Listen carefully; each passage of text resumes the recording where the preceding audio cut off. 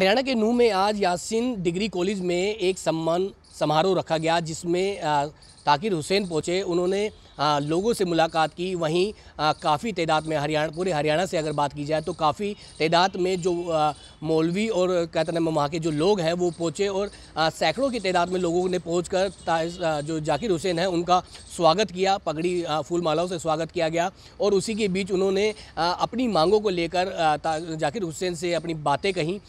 वहीं उन्होंने ये तक कहा कि काफ़ी समय से एक दरख्वास्त दी गई थी कि जो मौलवी हैं, उनकी सैलरी में में इजाफा किया जाए। उसी को लेकर उन्होंने विज्ञापन भी उनको, जाकिर हुसैन को दिया और मेवात में जो भी प्रोग्रेस हुई है या कहें जिस भी तरह की जो काम का जो काम की कागजात जो रुके हुए थे, उनको पूरा करने की जो बात की जा रही है, उसको लेकर जाकिर हुसैन का शुक्रिया अदा किया। उसी को लेकर पूरे समारोह में काफ़ी सारे लोग पहुँचे। उन्होंने कहता ना मैं पूरे एक सम्मेलन का कहता ना अच्छे से आलोचन किया। उसी के साथ मेवात में हो रहे आने वाले प्रोग्रेस को लेकर के भी बातें करी। प्रेस वार्ता में जाकिर हुसैन ने कहा कि हमारे साथियों द्वारा कुछ विज्ञापन हमें दिया गया है, कुछ जानकारियाँ हमें दी गई हैं तो कहीं ना कहीं उन जितने भी जो रुके हुए काम हैं, उनको जल्द ही पूरा किया जाएगा।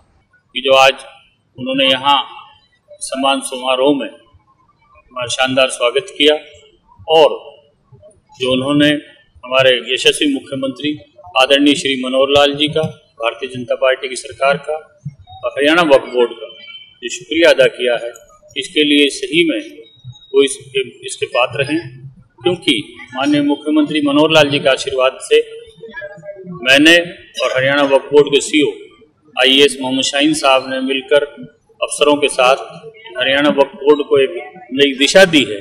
जिसमें हमारे एडवोकेट जनरल माननीय श्री बलदेव राज महाजन जी का बहुत अहम योगदान रहा है कि आज हरियाणा वक्फ बोर्ड की गाड़ी जो पटरी से उतर चुकी थी और वक्फ बोर्ड बंद होने की कगार पे था वो दोबारा से आज गाड़ी पटरी सड़क पटरी पर चढ़ी है और आ, आ, बहुत अच्छी तरह प्रोग्रेस अब हो रही है और उसी की वजह से माननीय मनोहर लाल जी के आशीर्वाद से हमने इमामों को और जो सहायता सहायता प्राप्त जो मस्जिदें हैं उनको ये बढ़ोतरी दी है। जो आज तक भी इस पूरे देश में नहीं हुई थी क्योंकि तो किसी भी जगह किसी भी उस प्रदेश में सालाना बढ़ोतरी का कोई प्रावधान नहीं है।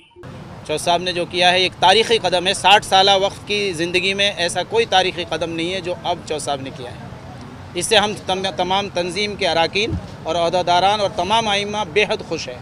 उसी खुशी का इजहार आज हमने चौथ साहब के इस्तबाल करके यहाँ किया है। मैं इन सब का शुक्रगुजार हूँ। और इससे आप खुशी की पूछ रहे हो। आप ये पूछो कि हिंदुस्तान में एक रिकॉर्ड कायम हुआ है, एक तारीख रकम हुई है, जो आज से पहले हर हिंदुस्तान के किसी भी बोर्ड में इस तरह की तारीख नहीं लिखी गई, जिस तरह माशाल्लाह हमारे मोहतरम एडमिनिस्ट्रेटर चौधरी जाकिर हुसैन साहब ने हरियाणा वक्फ बोर्ड में लिखी है, पाँच हज़ार का इजाफ़ा।